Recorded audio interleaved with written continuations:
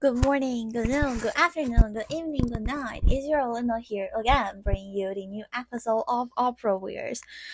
So that was the overture for Verdi's La Forza del Destino, which again you can see from the title and the cover. The theme or the opera we're going to review today. But again, before everything, sorry for the being really late. First, I spent some time thinking about how can can I do my second episode on Romeo and Juliet to revise on some mistakes I made. And the last week was also really packed. I performed for school's musical, catch up to class Carnegie Hall debut through radio, and went to some random performance with all of the high school chorus and the orchestra with literally 10 people at a Stern Auditorium at Carnegie Hall on Sunday. And also this Monday, I invited an opera singer from Romeo and Juliet, for Frederick Valentine, which I did mention from my last episode, to come to our school to do a Q&A section with of the kids in my opera club. That was a great experience.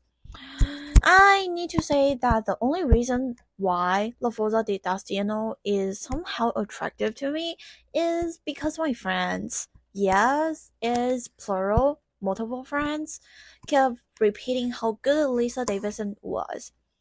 And one of them even went to La Forza del Destino four times, even though she disliked the staging and the new production aspect. But she did all of that only for Davidsen.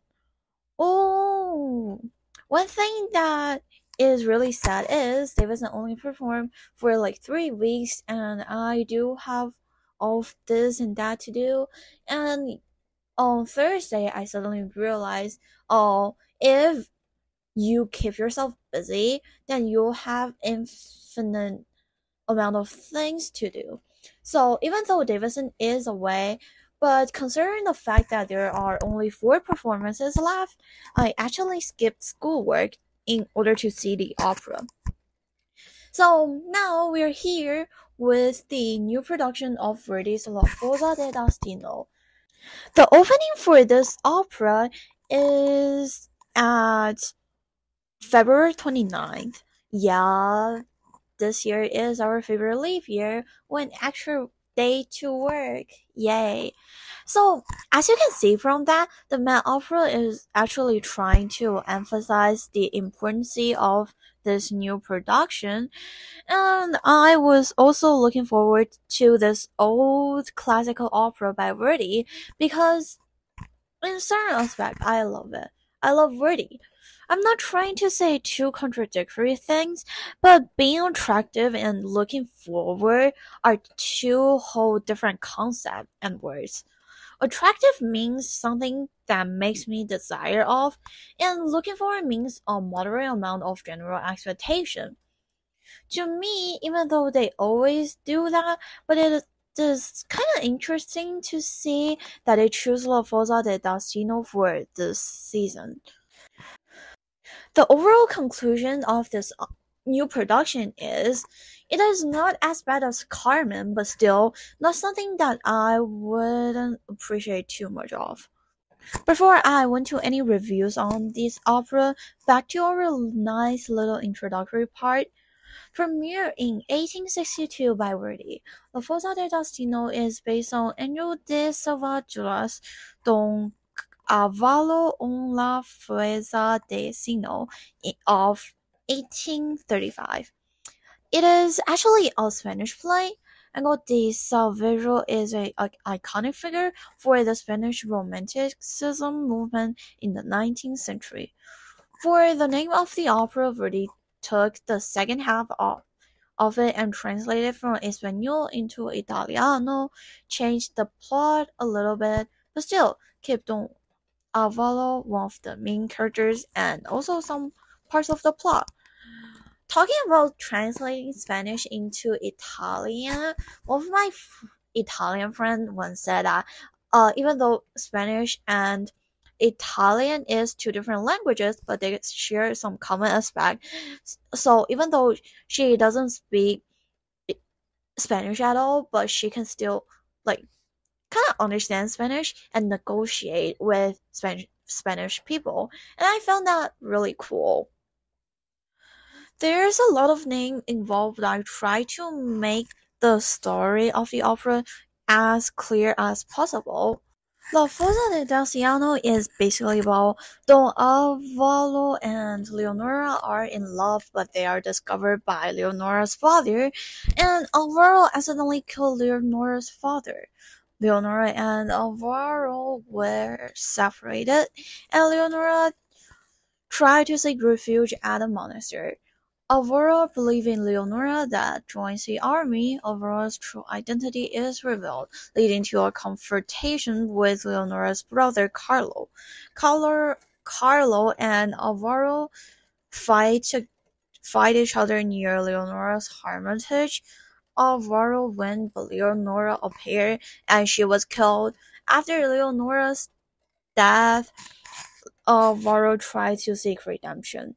That's probably all. The performance history is something that interested me. As always, there are revisions that was made seven years after the premiere, which is 1869 by some simple calculation. Verdi made the largest change in this revision. an overture replaced the prelude, and also the last scene of the opera was added. As you can see, I played the overture in the beginning of this podcast. By the way, that's Karajan and Berlin Philharmonic's version. Compared to the old version where Alvaro jumps into the nearby ravine, the new version with two scenes in the fourth act leave the audience somewhat a happy ending, even though everyone died, but like, okay, they excuse each other, and Alvaro gets back to God and being redeemed. Now, going back to the review section for this new mass production, the first point is very obviously the pace. Met combines acts 1 and 2 together, makes it 85 minutes without any intermission but two brief pause that's probably one or two minutes. And unfortunately, I drink like two venti sized Starbucks coffee before the opera. Don't ask why, because they have the buy one get one free, and I don't have any friends who go to opera with me, so I was forced to drink two.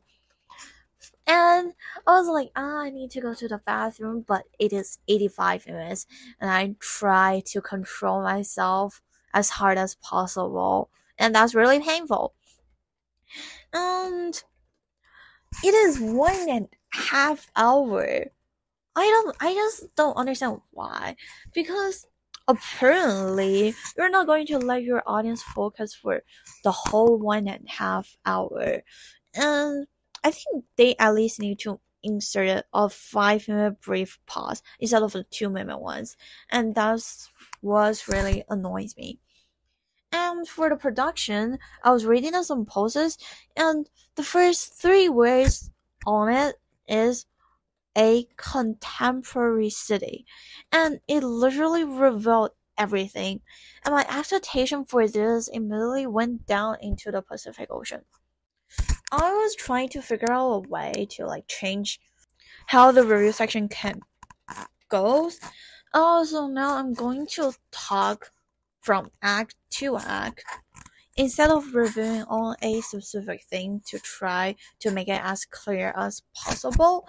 So feel free to jump around if you're interested in any specific thing. So the first act is kind of comfort my panic for new production and the contemporary background a little bit the station is relatively absorbing. They have the rotating stage sets off on, but this time it is an interesting one. I do want to say the connection between different parts of the rotating setup design is pretty smart. They put up doors and the singers is running between different sections of the stage while it is moving. They did give a sense of motion along with the correct mood. However, since it is accompanying with that seven minute overture, I have some really serious disappointment towards Yannick's conducting. I already have that kind of expectation of, oh, I'm not going to trust to let Yannick do all of this alone. And there will definitely be some problem. But today, it is at that level that makes me considering the question, should I have left five seconds after the overture started? Imagine Yannick being on Yannick the overture of this opera is quite famous and is Verdi's masterpiece, although it is called an overture, but it is closer to a prelude since it is supposed to be a prelude in the original version. And its performance is usually not before the opening, but often after the first scene of the first act. And that's another place where Met Opera changed for this new production. They move the overture before anyone starts singing. The piece should begin with a powerful horn-like fanfare of the brass instrument, suggesting the irreversibility power of fate. What's problematic about Yannick's conducting on Thursday is that there's literally no density and any management of tempo. I don't see any power of fate, but rather free floating notes. What the hell am I getting out of here? Uh, Leonora, or should I say Elena Stikhina, starts singing. I kind of recognize her because she's in the main role of three operas this season. The other two were La Boheme and Un Ballo in Maschera. She played Mimi and Amelia. Both are leading main characters. But I mean, Davidsen is how can I describe it? The main Leonora. So you can actually feel the differences between them just by the single aria Me pellegrina ed orfana in the first act. By the way, please listen to Callas' version. It is really impressive and I use it as reference. And the second act well, it is when I begin to question myself why did I live before. They start the second act with projecting some random video of helicopter and fire along the sound effect they made. And after that mystical woman, Preziosilla and her people appears.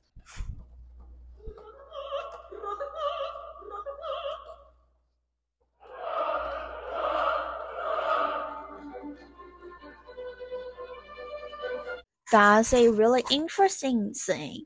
But now I have to be very honest and say I see no charisma, but rather a bunch of street prostitutes. I'm really sorry for saying that. But at least my baseline for a character like this is you have to be at least at the level of Carmen from the new production of Carmen. There's no mystery with in this figure along with her presentation that I can see from this new production.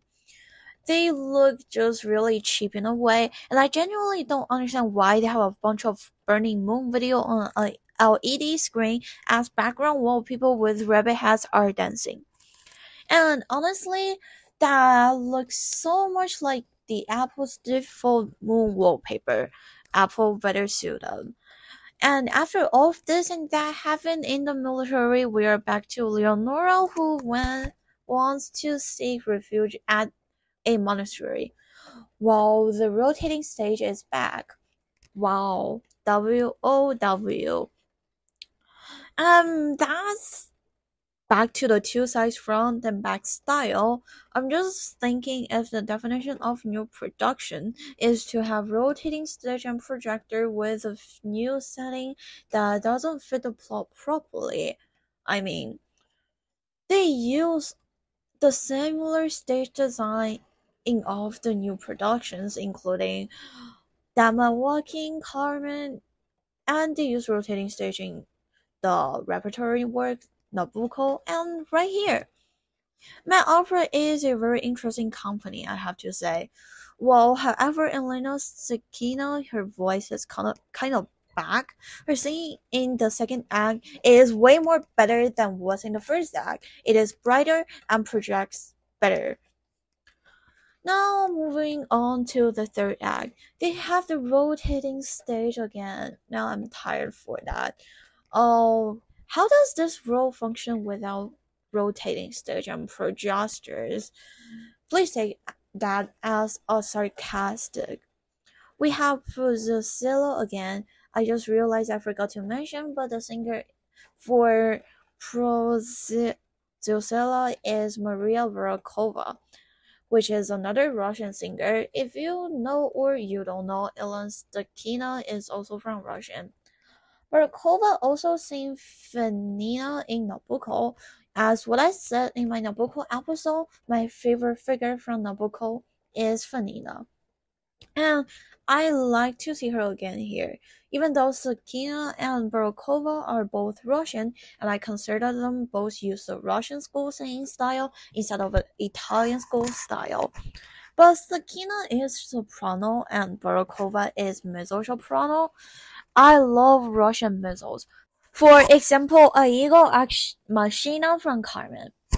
By the way, her 24 to 25 schedule is also full with Carmen. Oh gosh, no, I feel like uh, Akhmetshina for Carmen is like like for, for a Queen of the Night. I think I'm going too out of topic right now. Please take it as a usual thing within this podcast. The thing good about Barakova is she knows how to put emotions into the arias, and that's really fascinating and attractive to me as an audience. Well, there are definitely a reason why I mentioned Akhmetshina and Carmen because I think all the props for Act 3 came from Carmen. Surprisingly enough, I found the wall they used for Act 4 of Carmen similar to the wall of the camp here. And besides Maria Barakova for Preziosilla, Brian Jagde for of Varro and Igor Golovatenko for Carlos' wonderful singing. The chorus are kind of off a little bit. The lines are blurry and they're not that together. They need more practice, definitely. Uh, and an interesting thing is that the Met Opera chose to film a video about how the men's chorus practice as well as their advertisement on Instagram. Wow, they're so brave. Along with the average presentation of the chorus, Yannick's conducting is still unsatisfied, with rushing and overly emphasizing the existence of the orchestra. I don't know why he forced the orchestra in such a hurry. And the fourth, also the last act, I do want to quote directly from the synopsis again. Though the war is over, the world is still on the verge of apotheosis. I don't know where that British accent came from, but okay. All of this and that fancy words with no actual contribution and meaning, well, sound so much like my English language art essay. And so do the stage. The setting is a bunch of refugees in a subway station. And guess what? That's New York right now with all of the homelesses and refugees sleeping on the subway with the government doing absolutely nothing. So ironic. Haha. To be honest, that subway station looks familiar to me. Yes, I'm referring to Jackson Heights Roosevelt Avenue train station. And to be honest again, this is the best act despite the random subway station setting. The orchestras and the singers are all on points and bring nice harmony to the audience, bringing us the soft but heartbroken resolution for everything. Actually, for me, it is not that heartbreaking because even though everyone died, but like they excuses each other, and I believe if it, if they have a second life, they'll definitely be happy together. Well, that's my review on all the four acts. The most general conclusion I can make referring back to what I said before, is that never trust those new production Met Brings and Yannick's conducting style. Singers are great, Verdi's composition is great. Everything else, well, I believe you can make a fair comment on it after watching it or finish listening to the podcast. There are only two performances left for La Forza del Destino, but you can watch it anytime if you have Met Opera in HD. Thank you for listening to this podcast. The next episode will be some additional thoughts on Romeo and Juliet since I went to watch it again because you know live performances are very subjective and different from days to days. But it should be a brief episode that's under 10 minutes, probably around 5 minutes. And as always, if you have any question, comment, opinions on what I said, or you just want to talk to me, feel free to email me at aulindatang at gmail.com. It is A U L I N D A T A N G at gmail.com. Thank you so much for listening. See you in my next episode. Yay! I actually have absolutely no idea about how can I draw a cover for this. Maybe I'll try. You know, sometimes I'm just out of creative creative ideas. Okay. But bye. See you in my next episode. Have a nice day.